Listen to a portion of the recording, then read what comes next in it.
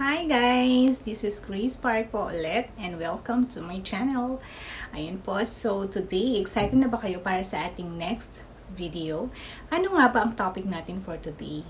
Bago ko po sabihin yan, gusto ko munang pasalamatan lahat na nagsusupport ng aking channel. Maraming maraming maraming salamat po sa inyong lahat. Ayan guys. At sa lahat po nagsusupport ng aking page, thank you so much po sa inyong lahat. Kung may mga katanungan kayo, huwag po kayong mahiya. Mag-message lang po kayo sa aking page. Or mag-comment lang po kayo dito sa ating channel. Ayan po. So, ulitin ko lang guys, no? Hindi po ako dermatologist. Hindi rin po ako um, skincare specialist. Ayan, lahat ng sinishare ko po dito is based po yan sa aking experience. So, gusto ko lang makatulong sa inyo. Baka, baka po yung mga ginagawa kong way, eh, pwede nyo magamit para mas lalong kuminis pa ang inyong mga skin.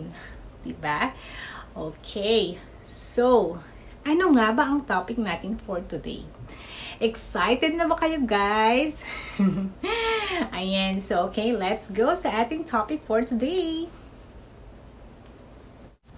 And guys, so let's go na sa ating topic for today. Bago yan, ano ba ang aking nilagay sa aking face? Yan. So guys, naglagay lang ako kanina ng day cream. As usual, day, day cream lang naman nilalagay ko tsaka yung sulil natin plus yung ating visage. Yun lang naman ang favorite kong gamitin sa umaga. Ayan, so wala pang ayos-ayos. Pasensya na kayo guys sa itsura ko. At ayan, namumula pa din yung aking mata guys. So, meron pa rin yung allergy ko. Kaya medyo madalang ako mag-comment or mag-reply sa inyo. Pasensya na po kayo.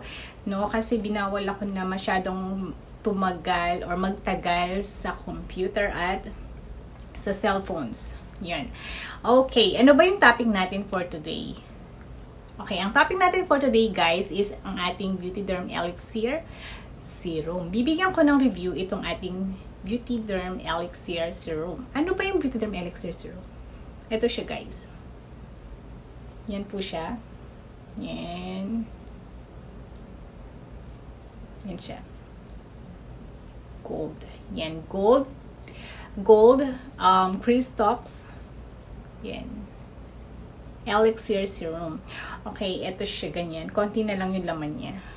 Yan. Konti na lang yung laman niya guys. Yan siya. So, gold siya. So, bago mo ito ginagamit, no, sinishake siya. Yan. So, bago ko to i-explain sa inyo, tingnan muna natin kung ano ba ang ingredients nitong ating Beauty Derm Elixir Serum. At para saan ba ito? Okay. Ang ingredients nito guys, meron siyang meron siyang retinol, meron siyang vitamin E, at vitamin C. Okay? Ano ba ang retinol guys? Retinol guys, ito yung gold standard for anti-aging. So, ginagamit ito para sa mga anti-aging. Kaya nga natin, it, eh, kaya nga yung ating Beauty Derm Elixir is for anti-aging at saka brightening din po siya, no? So, um, usually po, ang retinol, sabi dun sa sa nabasa ko, kasi base ito dun sa nabasa ko, kasi alam nyo naman na mahilig ako magbasa-basa at saka mag-google. Yan, kung may mga gusto tayong itanong sa sarili natin at gusto nating sagutin, ayan, Google is just text away. ayan, so, i-search lang ninyo lahat sa Googles or pwede naman kayong mag-search din sa YouTube, di ba? Okay. So, yun nga guys, no? Itong ating retinol guys, sabi, ni, sabi doon is, maganda daw siyang gamitin sa gabi nga daw. Yun. So, uh, ang retinol guys, ito rin, ito ay isa sa type no, ng retinoids. No? Ano ba yung retinoids? Ang retinoids, na, ang retinoids naman guys, ito yung nag increase ng collagen. No, nag-increase nag-increase yung collagen natin. Tapos nagtitreat siya ng acne tapos, yung mga blackheads natin, at saka yung mga clog pores din natin. At ano pa, nagdi-decrease din ito ng pore size. Yan po ang tinatawag nating retinoids. Kasi ang retinol is a type of retinoids nga po. Okay? Ano ba ang side effect ng retinol? No. Ano nga ba ang side effect ng retinol? Okay. Pag nasobrahan naman tayo, ano ang pwedeng maging side effect ng retinol sa skin natin? Pwede po siyang magkaroon ng flaking. Alam niyo kung ano yung flaking? Yung parang bitak-bitak, dry. Dry siya tapos yung parang may mga um, crack-crack, parang ganun po siya, no? So, tapos may dryness din yan. Dryness. Tapos, ano pa, nag increase yung sensitivity natin sa araw. Kaya kung mapapansin nyo, pag, kunwari, napunta, na, ano tayo, na babad tayo sa araw, di ba? Namumula or masakit, mahapde yung ating skin. Ano pa bang side effect? Uh, ang side effect naman ito sa skin natin, nagbibigay siya ng laging fresh from the spa glow. Parang laging ang fresh-fresh mo sa, ang fresh-fresh po ng skin natin. Ayan ang mga side effect ng ating retinol. Yan no. So, ano naman ang mangyayari no kapag nasobrahan natin ng sobrang-sobrang nilagay natin. So, pwede tayong mag-redness Okay, yung skin natin pwedeng maging red na parang umitim tayo. Tapos may peeling din siyang pangyayari. Na, may peeling na pangyayari. May peeling na nagaganap. Ayan. So, kapag gumamit kayo ng retinol, sabi nga nila, uh, hindi advisable na magpa-derma tayo. So, kung gusto niyo magpa-derma guys, no, um, pwede nyong sabihin dun sa dermatologist ninyo na gumamit nga kayo ng retinol. Tapos sabihin nyo na, oh, kung okay lang bang uh, magpa-derma while using the retinol, mga ganun-ganun na question nyo or tanong nyo sa mga dermatologist. Pag pumayag naman sila, then you can uh, you can go for uh, facial, yung mga ganyan-ganyan po, no? Okay.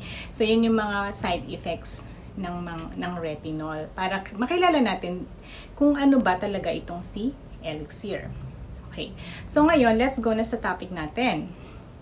Ano ba ang review ko dito sa ating Beauty Derm Serum Elixir Gold Elixir, no? Guys, itong Beauty Derm Gold Elixir, sobrang ganda niya. Ang bango niya, para, para kayo nagpaspa. Tapos, uh, maganda siya sa skin no? Ginagamit po itong Beauty Derm um, Elixir Serum natin 3 times a week or 2 times a week. Hindi po siya ginagamit ng everyday. No? Hindi nyo siya kailangan gamitin ng everyday. Kasi, um, anong tawag dito? Kasi may retinol kasi may retinol po kasi siya. Hindi maganda sa skin natin pag sumobra tayo ng uh, pag sumobra tayo sa retinol. Kaya nang sinabi ko, yung retinol, di ba may mga side effects yan. Pag sumobra, nagkakos ito ng redness, na parang umitim tayo, may mga peeling, tapos dryness, ayan. So, hindi siya maganda. Although maganda siyang gamitin pang treat sa mga acne, but kapag na-overuse yun naman siya, hindi rin po ito maganda. So, hindi rin ito ina-advise guys na kapag gumamit kayo ng beauty set, igagamit na rin kayo agad ng ating Beauty Term Serum. Naiintindihan ko kayo guys na you're so excited na gamitin talaga itong si serum kasi nga sobrang ganda niya at ang ganda ng effect niya sa ibang mga gumagamit nito. But, but guys, no, kung kayo, kung kayo ay may acne, no, lalo na yung mga severe acne dyan, mas maganda pong gamutin nyo muna yung mga acne nyo using our beauty set. Yung ating beauty set, sabi ko naman, di ba, meron tayong for sensitive skin, yung ating Beauty Derm Elixir. Meron din tayong beauty set naman na, na pwedeng gamitin. Ayan muna ang gamitin nyo. Huwag kayong magmadali. Ako guys, hindi ako nagmadali. Uh, tingnan nyo ngayon, 4 years na ako, di ba? Kailan lang lumabas tong si Elixir Serum? Kung hindi ako nagkakamali, siguro um, 2019, baka 2000 last year yata ito lumabas eh. O basta, kung kailan lang siya lumabas, doon ko lang siya ginamit. No, doon ko lang siya ginamit, doon ko lang siya in-apply. So, ina-advise ko sa inyo guys, no, na pakinisin niyo muna yung skin ninyo. As in talagang wala na siyang problema, wala na kayong marks, no? Tsaka kayo gumamit nitong Beauty Derm Elixir. At uulitin ko guys, hindi ito ginagamit every day. Hindi ko siya ginagamit ng every day.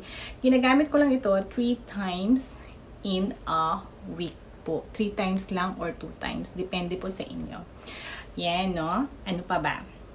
Mm. Ayun guys. So, kapag ginamit nyo rin itong si um, serum, for example, nag-toner kayo, di ba? Toner, tapos Um, ako kasi, ako ah, ito is based sa akin to. So, nagto-toner ako, tapos sulil, tapos next is ito ng serum. Yung sulil guys, optional lang yon no? Hindi nyo kailangan sundin yon Kasi ako talaga, mahilig talaga ako sa oil. Gaya ng sinasabi ko, di ba? Favorite ko nga si sulil. So, pwedeng wag nyo rin siyang gamitin. So, pwede namang toner, tapos jump na kayo, serum na ulit ang gamitin. Ay, ang, ang apply ninyo. Pero ako, after ng serum, ginagamitan ko pa siya ng cream 3. Yan. Pwede namang wag nyo rin siyang gamitin ng cream 3, guys. Kasi optional din yon. Ako kasi, feeling ko, ako ah, feeling ko, feeling ko kasi, pag yung after nung, di ba sabi nga nila, toner, tapos ito na lang ang serum, tapos yun na, that's it. Wala ka nang i-apply na iba. Pwede naman yun guys. Pwede pwede po yun kasi hindi mo naman kailangan mag-apply pa ng mga creams. Pero ako kasi ginagamit, ginagamit. Ginagawa ko is nag-apply pa rin ako ng cream 3. Kasi nga, feeling ko pagkatapos kong i-apply itong si um, serum, ang dry pa rin ng skin ko. Kasi gusto ko kasi sobrang moisturized niya, napaka-dewy ng skin ko. So, nilalagyan, ina-apply ko pa din siya ng cream 3. Ayan guys. So, yan lang po ang pwede kong ma-share. Wala na ba akong nakalimutan? Ayan, pag may nakalimutan ako or may kulang man akong nasabi, may, mag, may mga kamali ako, pwede nyo po akong i-correct. Yan po. Sana po natut na, may natutunan kayo sa ating um, beauty tips at review dito sa ating Beauty Derm Elixir Serum. Guys, gaya ng sabi ko, ayan, ayan nyo munang Ayan nyo munang mawala. Okay, mawala yung mga pimples ninyo, pimple marks, tsaka kayo gumamit ng ganito. Pero guys, pag wala namang problema sa skin ninyo, for example, makinis naman ang skin ninyo, you can use serum. Pero 3 times in a week lang po. Ayan, so sana may natutunan kayo sa ating simple tips for today. God bless everyone and have a nice weekend. Bye!